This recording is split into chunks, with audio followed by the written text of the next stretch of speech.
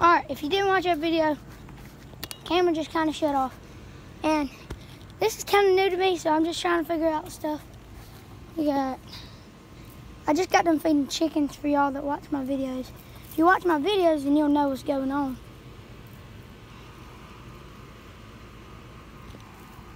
These.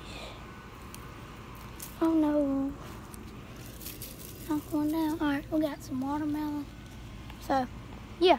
See y'all guys on the next one. Peace.